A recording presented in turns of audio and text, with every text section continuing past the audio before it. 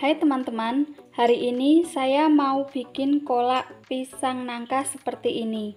Ada yang mau? Tonton terus video saya sampai akhir. Kita masak bareng dengan masakan yang simple, bahannya mudah didapat, harganya ekonomis, dan yang pasti rasanya bikin nagih. Terima kasih, selamat mencoba.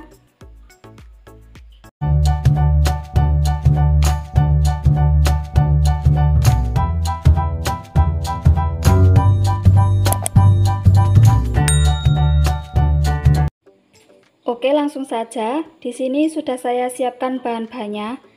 Ada satu buah pisang tanduk ukuran sedang, kemudian 200 gram gula jawa. Di sini saya menggunakan gula aren biar nanti baunya lebih harum. Lalu ada satu buah santan kelapa kemasan. Nanti ini kita gunakan setengahnya saja. Lalu ada seperempat sendok teh garam dan 10 buah nangka yang sudah saya buang bijinya dan sudah saya potong kotak-kotak seperti ini. Selain itu, saya juga menggunakan 1 liter air. Langkah pertama kita kupas dulu pisangnya. Lalu nanti kita potong-potong agak kecil.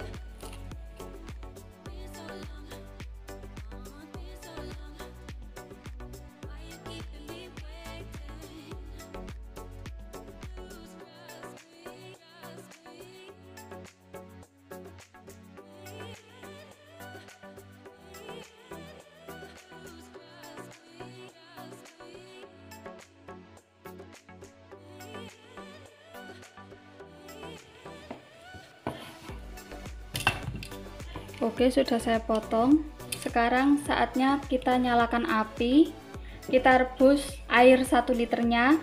Lalu kita tunggu sampai dia mendidih. Setelah mendidih, kita masukkan gula jawanya terlebih dahulu.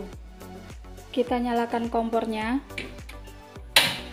Kita tunggu airnya mendidih dulu. Nanti kalau sudah mendidih, baru kita masukkan gula jawanya nanti kalau kira-kira gula jawanya sudah mulai mencair baru kita masukkan pisang dan nangkanya.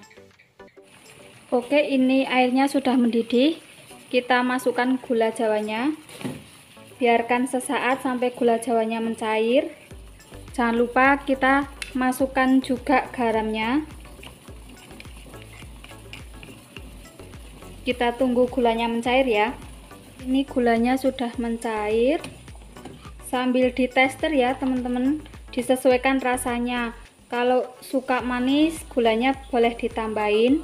Kalau tidak suka terlalu manis ya cukup sesuai dengan resep saya. Lalu kita masukkan pisangnya potongan pisangnya.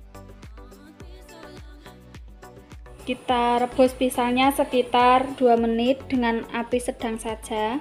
Ini sudah mulai terlihat empuk ya langsung saja saya masukkan buah nangkanya. Kita tunggu sampai dia mendidih lalu kita masukkan santannya. Nah ini sudah mulai mendidih.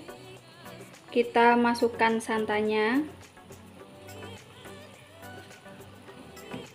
Usahakan saat memasak kolak pisang seperti ini pisang dan nangkanya jangan sampai terlalu masak. Karena nanti setelah kita matikan kompornya dia masih proses masak.